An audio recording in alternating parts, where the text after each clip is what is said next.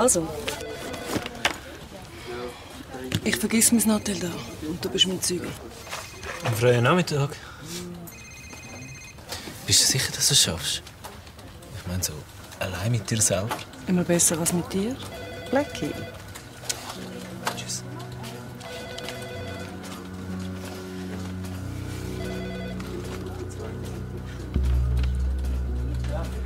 Äh, Chef?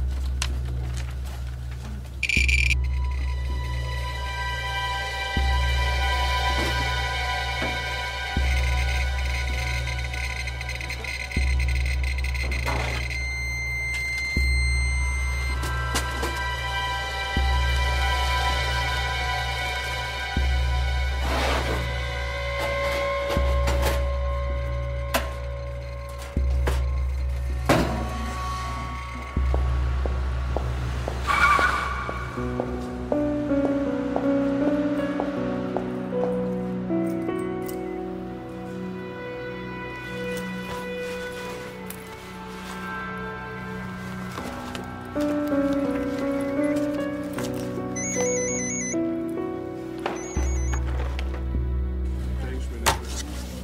deine Kühle.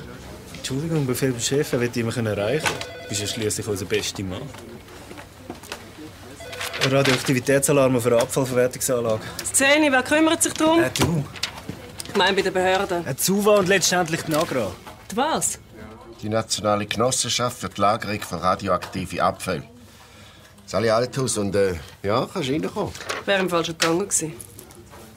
Ähm, Nagra. 1972 von Bund und Kernkraftwerkbetreibern gegründet. Sie hat den Auftrag, Lösungen für eine nachhaltige Entsorgung von radioaktivem Abfall in der Schweiz umzusetzen. Und das ist eine Story wert. Das wirst du herausfinden, Althaus. Wir müssen aktuell sein, Themen setzen. Mag ja sein. Aber zuerst müssen wir den Leuten erklären, was Radioaktivität ist. Ich habe da noch einen guten Link gefunden. Ähm, darf ich? Klar.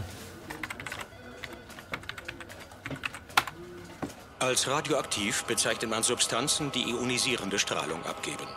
Eine zu große Strahlendosis kann bei Menschen zu Gesundheitsschäden führen. Deshalb muss man sich davor schützen. Die Strahlung radioaktiver Substanzen nimmt über die Zeit von selbst ab. Das kann aber sehr lange dauern. Verbrauchter Kernbrennstoff braucht dafür etwa 200.000 Jahre. Okay. Machen wir einen Kasten draus. 15 Ziele. Knapp und bündig. Gut gemacht. Warum tippst du das nicht einmal ab? Ich mache mich auf den Weg in die Abfallanlage. Nein, nein, nicht nötig. Dort ist alles gelaufen. Du gehst jetzt zum PSI. Schon wieder so ein Akronym. Paul-Scherrer-Institut. Eines der prominentesten Forschungszentren in der Schweiz. Und was machen der radioaktive Abfall dort? Das ist nur eine von ihren Aufgaben. Die kümmert sich um Abfall aus Medizinindustrie und Forschung. Forscher wie die Schöpen. Das wird ja heiter.